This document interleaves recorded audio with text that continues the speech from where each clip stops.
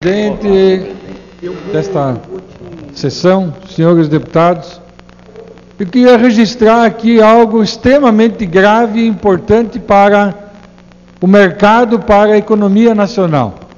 No dia 16 de setembro passado, a Receita Federal instruiu uma instrução normativa número 1397, onde ela exige das empresas que se submetem ao, em forma de balanço ao lucro real, da exigência de apresentar dois balanços.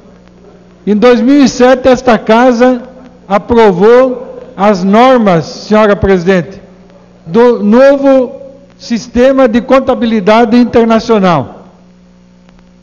Padrão Internacional e RFS.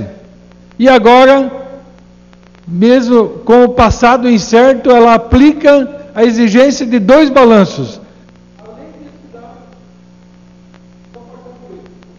Além disso, dar um trabalho enorme para todas as empresas, acaba aplicando lucro, imposto de renda sobre aquilo que já estava totalmente definido e determinado.